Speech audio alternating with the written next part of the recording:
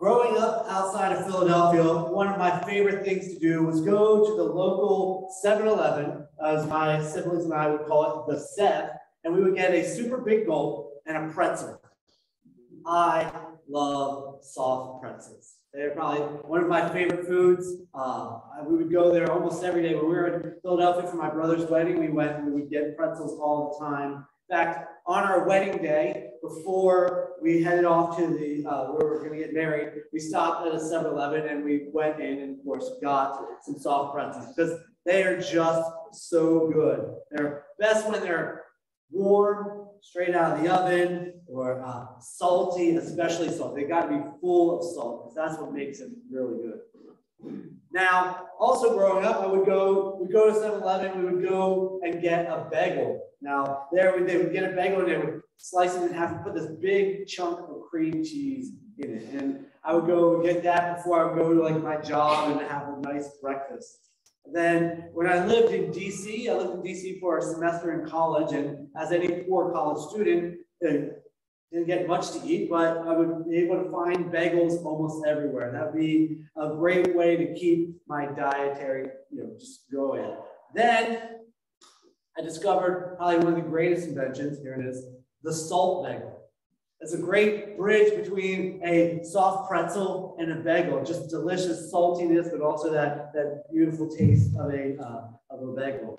Now, when I lived, uh, uh, when we moved to San Antonio, my wife introduced me to something also just as good. Nice, warm, fresh, fresh baked flour tortillas. you don't get them really here very often, but almost every Mexican restaurant and many other restaurants would serve fresh flour tortillas. You would go there, and just like they would put chips on your, table, they would also give you these this basket full of warm tortillas. You could dip it in salsa. You could uh, make a taco out of it. You could just eat it plain, put some butter on it. And if you wanted a dessert, you could sprinkle some sugar on it.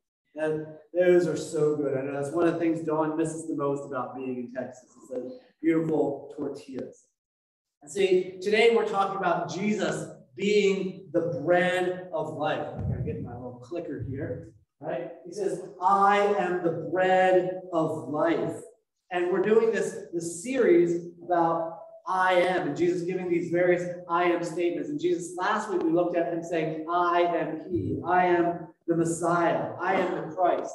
And so today we're looking at I am the bread of life. So before I continue, just turn to someone right next to you and you tell them one of your favorite types of bread.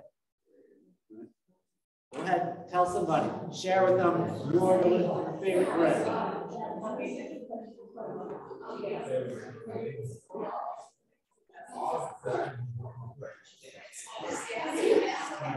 All right, now that you all are good and hungry, let's move on. Jesus says in John 6 35, I am the bread of life. Whoever comes to me will never go hungry. Whoever believes in me will never be thirsty. He says, I am the bread of life. I am that sustenance, that nourishment, that essential food that you need to get through life. It is a powerful and audacious statement. And it's throughout John chapter 6, he talks about what it means for him to be the bread of life. And kind of to get our an understanding of what Jesus is saying, there's a couple things we need to understand. First, he gives this statement. He says, I am the bread of life, the day after he feeds the 5,000.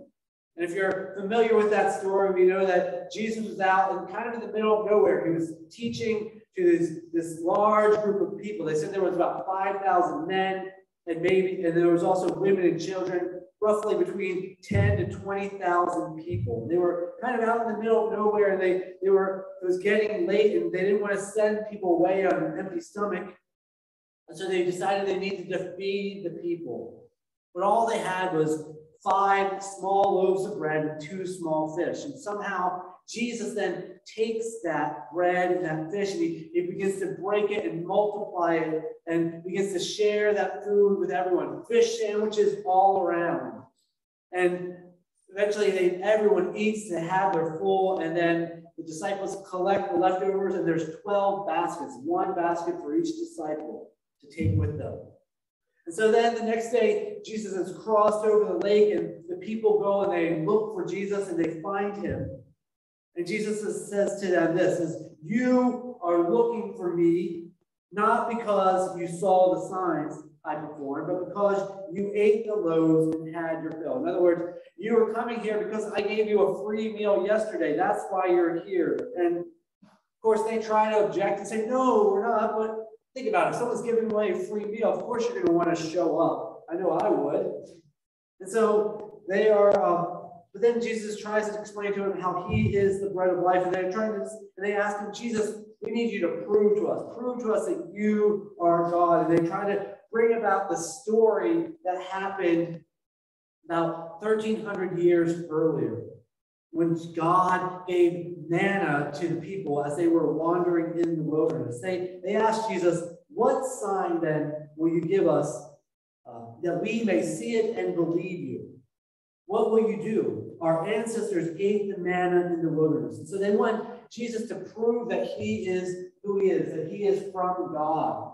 And so he, they talk about the story of Moses and the people in the wilderness. They had been free from Egypt. They had gone out with these miraculous acts, these 10 plagues, with the, the Red Sea splitting and the people walking across on dry land. They get to Mount Sinai and they, they get the, the Ten Commandments. And then they start wandering through the wilderness. And they get restless and anxious and aren't sure what to do. And they forget God's provisions the way that God has cared for them. And it says in Exodus 16 that in the desert, the whole community grumbled against Moses and Aaron. The Israelites said to them, If only we had died by the Lord's hand in Egypt. They're so set up that they want to just die there. They said that in Egypt, they sat around pots of meat and ate food, all the food they wanted. You have brought us out into the desert to starve this entire assembly to death. So they're, they're complaining they don't have the food that they had back in Egypt, and they want Moses. They're, they're just out to get Moses, thinking he led them out there. So it says that the Lord said to Moses, I will rain down bread from heaven for you.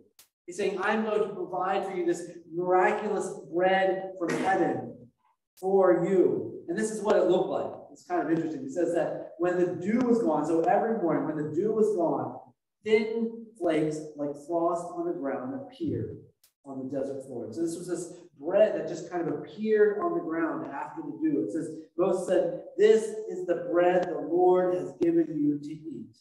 And so for 40 years, the Israelites ate this manna as they wandered through the wilderness. This is the, the meals that God provided for them. And each morning they would go out and they would collect that food and they would uh, gather enough for each day. And this is the, the bread of heaven that the, the Jewish people are, are talking to Jesus about. They're saying that Moses gave the people of Israel back as they were wandering through this bread from heaven as a sign. Of course, Jesus, he corrects them and he says, It is not Moses who has given you the bread from heaven, but it is the Father who gives you true bread from heaven. So these, these two stories are kind of paint the backdrop for this uh, conversation that Jesus is having with his people. But also, there's this foreshadowing that happens. There's something we also need to look at this foreshadowing that Jesus says later during the time. He says, um, Very truly I tell you, unless you eat the flesh of the Son of Man and drink his blood, you have no life in you. Whoever eats my flesh and drinks my blood has eternal life. And this is going to be a maybe a confusing or disgusting thing that the people as listening would be trying to understand what Jesus is getting at. But I can imagine John. John, as he's thinking about writing down what Jesus is saying and writing down this event, how his mind would go to that first, that Passover meal, that night where he, Jesus and his disciples were sharing the Passover meal together. And when Jesus, he says that the night that he was betrayed, he took the bread. And when he'd given thanks, he broke it. And he said that this is my body, which is for you. Do this in remembrance of me. Then he would take the cup. And he said, This is the new, this cup is the new covenant in my blood. Do this whenever you drink it in remembrance of me. And John will remember that night and all that had transpired after that. But then he would remember how Jesus said that whenever you eat the bread and drink the cup, you proclaim the Lord's death until he comes. And he would remember how the people of God, the Jesus followers would gather all the time to meet with each other. And they would share the Lord's Supper together. They would just partake in communion together, where they would share the bread and share the cup. And they would remember what Jesus has done. They would eat his flesh and drink his blood and remember the sacrifice that he made. Now, if I'd been wiser, maybe planned it out better, I would, would have probably scheduled this sermon for a communion Sunday, but we're just going to enjoy it anyway. So, as we look at the story, Jesus proclaiming, I am the bread of life, it helps us understanding all these, helps us have a better background or better understanding of what Jesus is saying. Now, this passage you know, it's a it's a big chunk of scripture, right? We're going from John 6 verses like 25 to like 70. And so instead of reading the whole thing or trying, I'm going to show it as what would the conversation be between Jesus and the crowd. So we've got the crowd saying, Hey, Jesus, um, when did you get here? Oh, um, I see you're looking for me because I gave you food yesterday. What? We, have no idea what you're talking about, Jesus. Well, you know, I, I fed the 5,000 men, the women and children too. Out with the five small loaves and the two small fish. No, uh, that's not what we want you. We just, uh, we're just here to listen to you. But if you do have some food, hmm, hmm. there is food that you work for, which spoils, but then there's food that endures, that comes from me.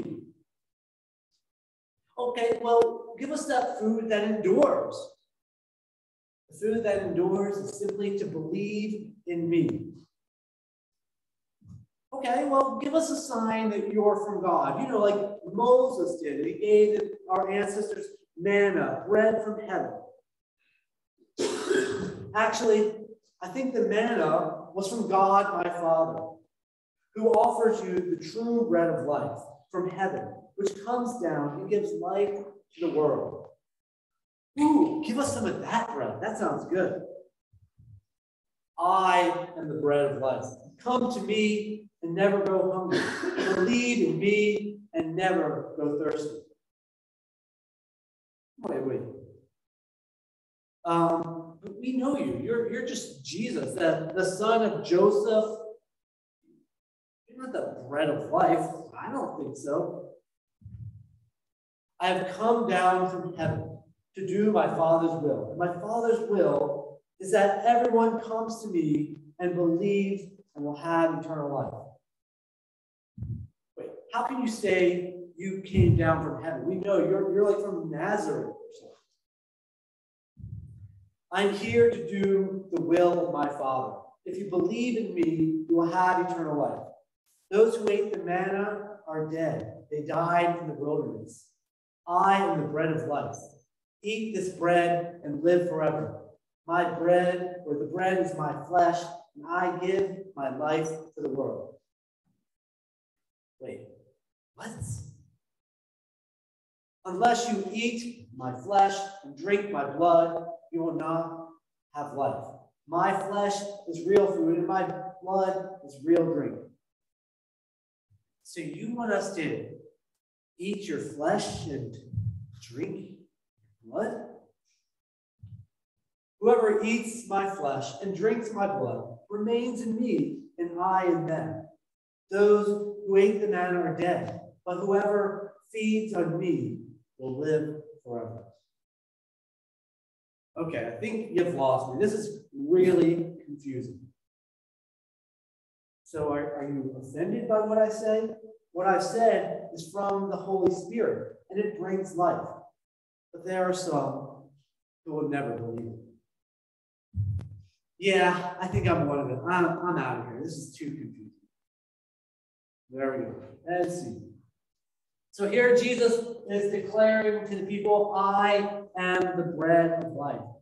But why bread? What is so important about bread? Why not the pretzel of life, right? Or the, the bagel of life? You know, why not something delicious like I am the, the cake of life, or this big old donut of life, or donut holes of life, you know, something delicious, something that would talk about the, the richness and decadence of the grace of Christ. Here I'm going to rely on Darrell Johnson, who writes Jesus doesn't say, I am the cake of life. He could say that because it's delicious, because he is delicious in every way.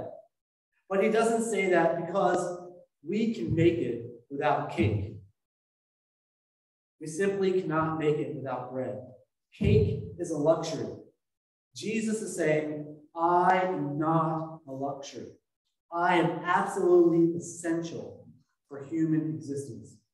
Because bread is a staple. It's something all people need. People of different forms, different cultures, all have bread. And Jesus is saying that that is what we need. We need him. We need him even more than we need bread. We need him more than we need our next meal. That Jesus is essential. He is essential for true life. And perhaps we want the whoopie pie, right? We would want to come with a whoopie pie or uh, donuts or, or Kringle or whatever. And we go to these things. We think these things are going to satisfy us. This, this big donut's going to satisfy me more than, than a loaf of bread. And we think there are things in our lives that are going to satisfy us more than Jesus. We go to our work we work hard. We think our jobs are going to satisfy us. They're going to give us that meaning we, we want in life. But we go through our jobs and we still feel like there's something missing in life. And so then we think, well, when I'm done with my job, when I'm retired, life will be great. I will find my meaning and purpose and I'll be able to do whatever we want. But we retire and we still feel like there's, there's something not quite there something that we're missing in life. We think maybe money will have it. Maybe if we just get more money, then we can buy things, we can have stuff, we can have all these things, and these possessions that we have will fill the void in our souls.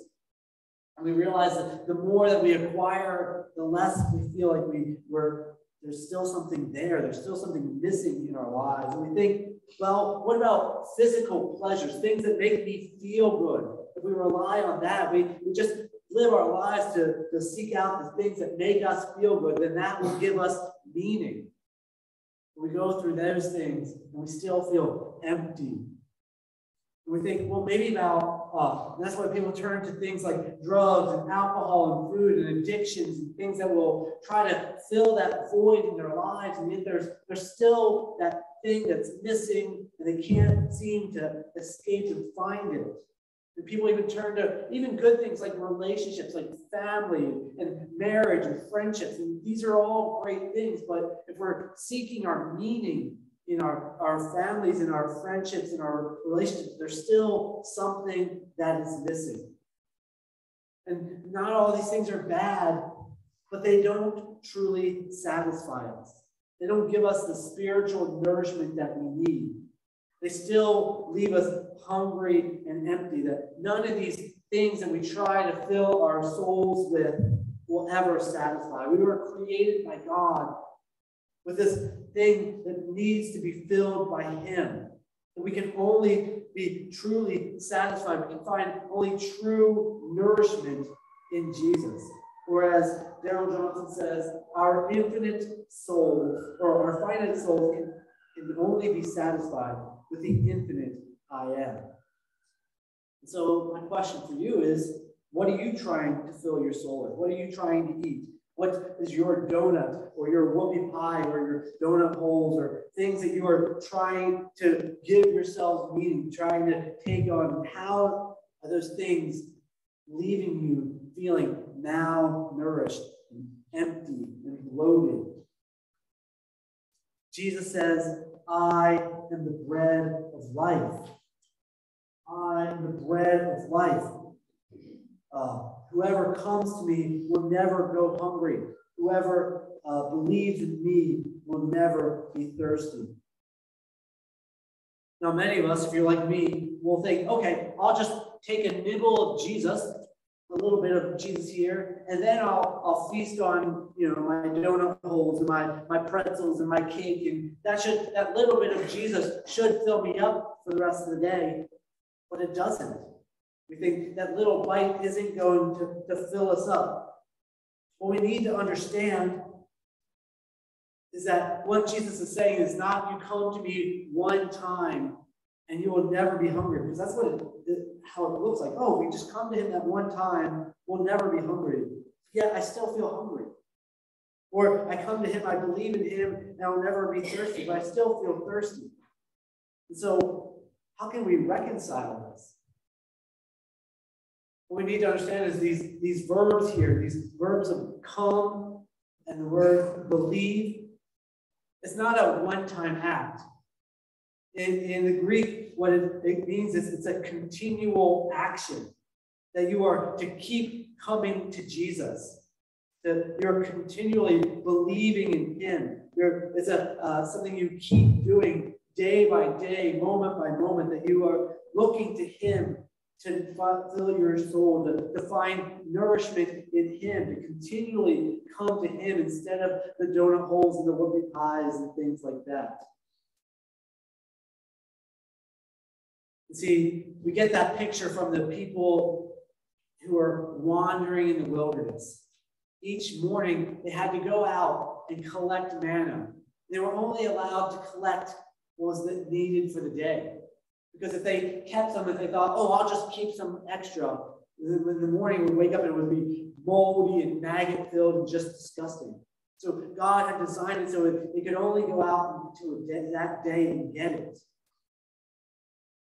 And that's how it is with us. We need to continually come to God day by day, come to Jesus and, and come to the bread of life and find that true nourishment. It's a continual act. It's something we are called to do over and over again so that we will not be hungry.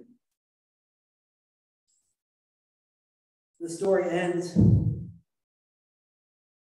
with people being kind of disgusted by what Jesus said, deserting him, leaving him. They say they found his teaching to be too difficult. It was too difficult, so they were going to leave.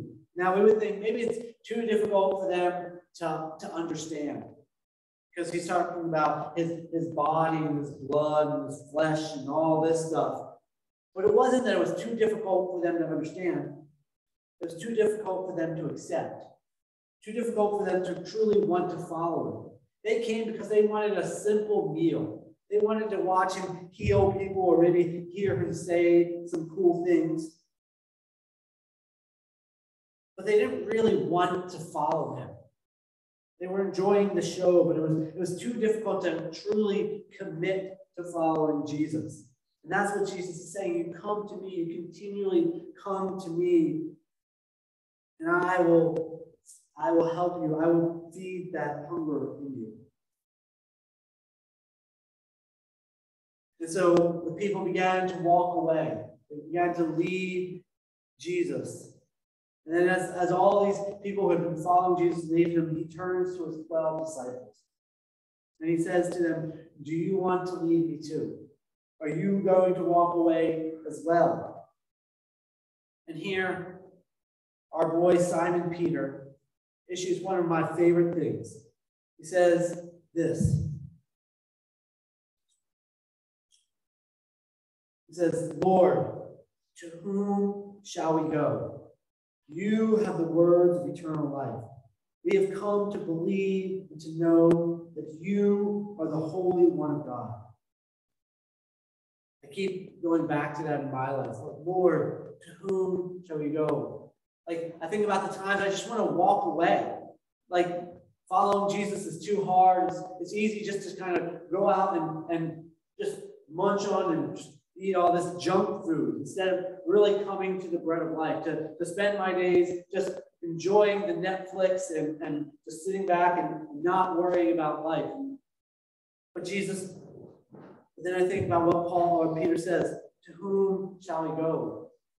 Where else am I going to go? Where else can we go? Only Jesus has the words of eternal life. Only He is the one that will satisfy that hunger inside us. Jesus is the true bread. He is that bread of life. And only that bread has the words of eternal life. Only that bread of Jesus can nourish and satisfy our souls. Jesus says, I am the bread of life. Whoever comes to me will never go hungry. Whoever believes in me will never be thirsty.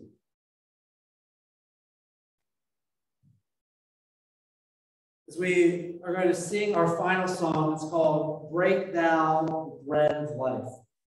And as we sing that song, I'm going to invite you, whoever wants to, you don't have to, but invite you to come forward. And just as you come forward, you can rip off a piece of this bread, any bread you want. Just kind of come up here, grab a chunk of bread, and take it back with you. Enjoy it. You know, just uh, use it as a as you come forward. Think about it as Jesus is saying, "Come to me. Keep coming. Continually come, and you will never go hungry." So as we sing this song, I invite you just to come forward. You don't have to, but if you want to picture yourself coming to Jesus, and then I want you to think about this throughout this week. As you make a sandwich, as you pull out a piece of bread, if you're eating something, just be remembering of that. Remember Jesus who offered himself, who is the true bread of life, and he will satisfy.